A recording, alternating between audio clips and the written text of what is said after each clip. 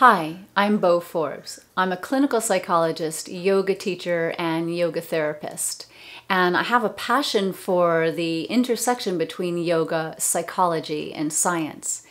I'm here today to talk to you about neuroplasticity, which I call the science of change.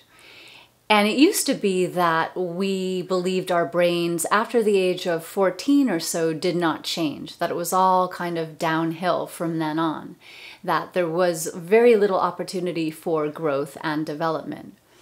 But in recent years, neuroscientists have been giving us in the yoga world some incredible information about how transformation really happens.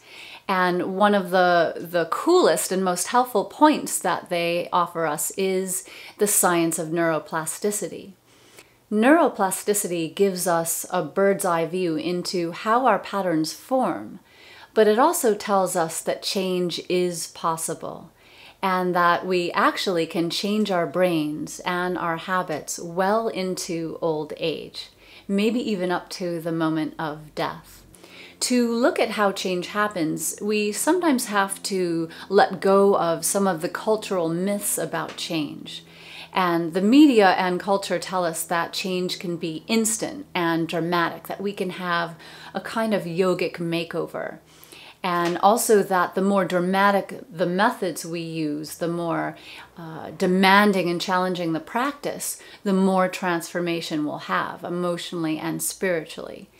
In fact, Instant healing and also dramatic methods are jarring to the nervous system. And the nervous system is like the calibrator of neuroplasticity, of change. So, what works instead are subtle interventions that we practice progressively over time that build on one another.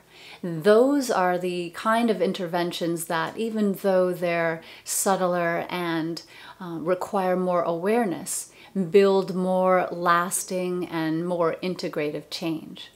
So, when you think about neuroplasticity and our tremendous capacity for change, think of the tortoise and the hare, that slow and steady wins the race to emotional well being and also to enlightenment.